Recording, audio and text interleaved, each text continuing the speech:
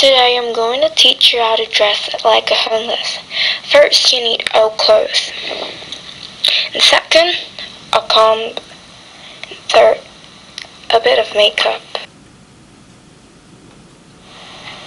Now that you put every piece of old clothes on you, now the next step is makeup.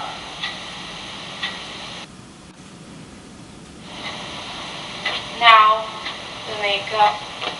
You need to make your face look dirty. Like a homeless.